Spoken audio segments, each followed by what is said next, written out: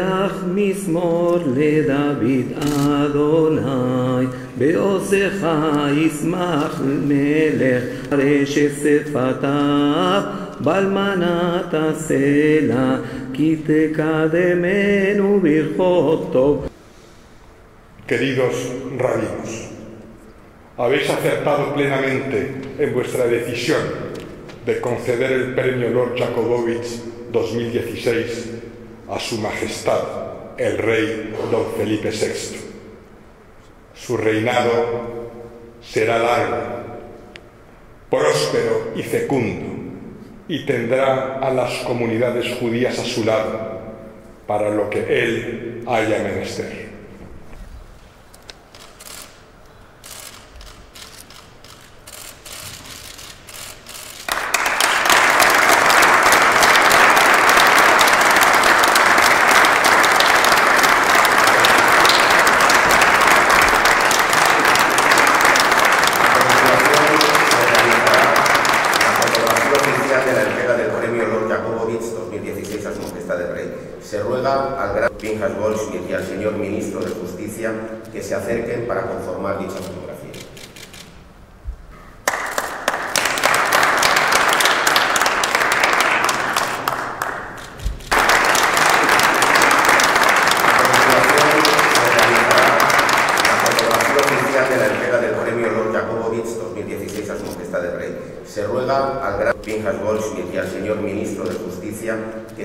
Acerquen para conformar dicha fotografía.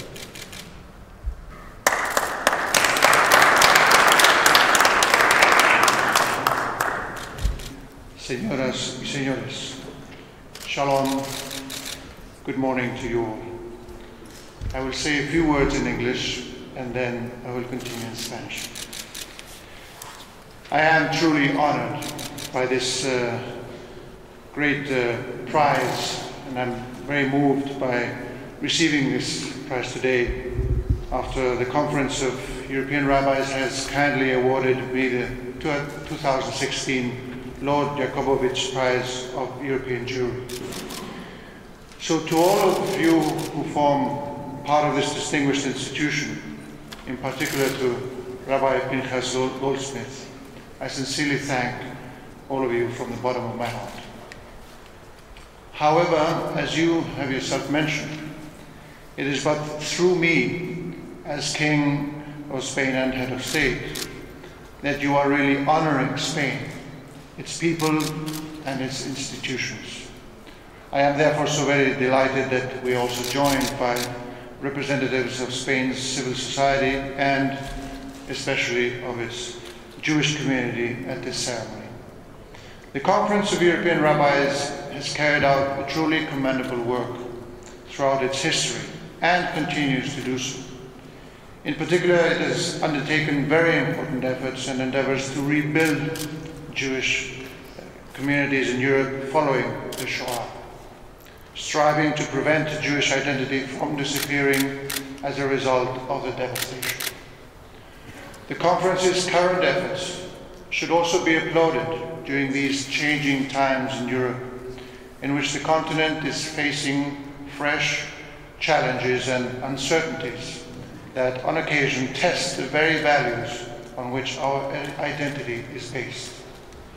And our European identity cannot be understood nor complete without taking into account the decisive contribution of the Jews who have lived in the continent since the dawn of history. Now, as it did then, Europe needs the invaluable contribution of its Jewish communities because we need to be honest and respectful to both our common Judeo Christian values and origins, and the more broader or universal sense of true human values we are all here trying to extend and defend worldwide amidst the horrors and hatred that still persist in so many places on earth. Esteemed rabbis, I welcome you to Spain, an open and tolerant country in which respect for diversity is a defining characteristic. We are also filled with pride by Spain's active and flourishing Jewish community, represented by the Federation of Jewish Communities of Spain and its president, Isaac Querub, who is here with us today. Thank you, Isaac, for your words. The Jewish community's homecoming to Sepharad was serene and silent. Rites, liturgy, renowned surnames, ballads, proverbs, and seasonings all returned. In short, so much that we should never have allowed to be lost. The key turning point, apart from the formal banning of, of that decision so many centuries ago, was 1992 and the state cooperation agreement with the Jewish communities, which guaranteed individual and collective rights. In the same year, after entering the Beth Yaacov synagogue in Madrid, the official welcome was marked by the words of my father, King Juan Carlos, when he said, Spanish Jews are in their homeland. Allow me to continue now in Spanish. Hoy quiero destacar el esfuerzo de muchos municipios españoles por recuperar su patrimonio y su legado judío. Por esta vía se ofrece a los millones de visitantes que cada año llegan a nuestro país el vivo recuerdo de lugares, de personajes, de alma judía que forman parte de nuestro legado histórico. Un pequeño municipio se ha convertido en todo un símbolo de la lucha contra el antisemitismo. Se trata del pueblo burgalés de Castrillo, anteriormente llamado de Mata Judíos, y que desde mayo del año 2014 luce con orgullo su nuevo nombre, de Castrillo Mota de Judíos. Desde los poderes públicos se han lanzado iniciativas a la sociedad civil, como es el caso del Centro Separat Israel, que desde hace una década se afana en servir de puente entre España y el mundo judío en todas sus manifestaciones. De entre sus líneas de trabajo me gustaría destacar la denominada plataforma Herencia, que leal al espíritu del senador Ángel Pulido se esfuerza en establecer puentes entre España y las comunidades sefardíes de la diáspora.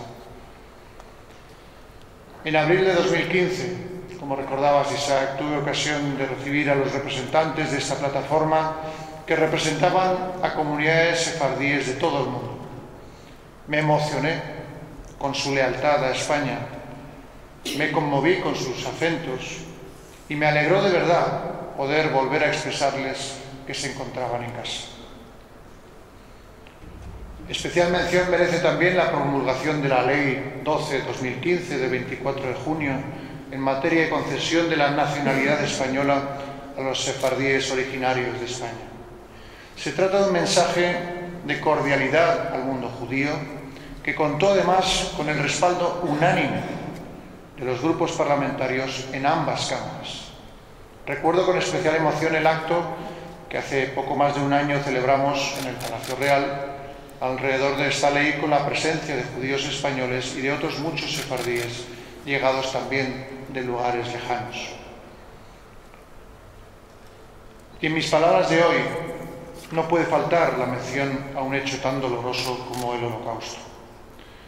España se enorgullece de sus justos entre las naciones, que ayudaron a salvar a miles de judíos en aquellos años oscuros.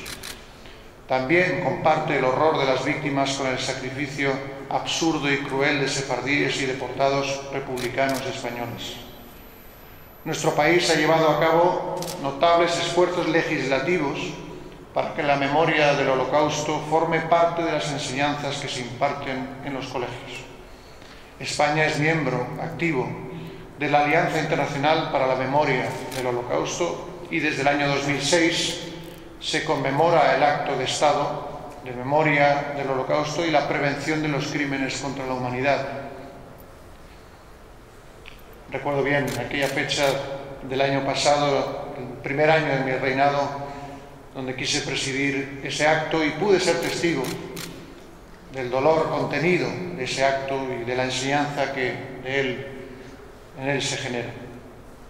En esa ceremonia tuve ocasión de saludar a una persona muy especial, a uno de los pocos supervivientes de la Shoah que viven en España. Su nombre era Joseph Borer. Era de origen húngaro y pudo rehacer su vida en nuestro país como un español más. Desgraciadamente, hace apenas diez días fallecía en Madrid, dejándonos el legado de su ejemplo y de su testimonio imperecedero. Deja también una familia entrañable a la que quiero transmitir mis condolencias desde aquí en este día. Descan descanse en paz, Zichrono Labraja, Libraja. I would like to finish my remarks by returning to two matters which I have referred to on previous occasions when addressing Sephardim, namely justice and gratitude. All of Spain's efforts in recent years to return the country's Jewish culture to its rightful state are simply a duty in the name of justice. All of the Sephardim's unyielding love and loyalty towards Spain represents a powerful example for all peoples and for generations to come. It certainly deserves our deepest, permanent, and most sincere gratitude. Again, I thank the entire Conference of European Rabbis for awarding me this prestigious Lord Jakobovits Prize.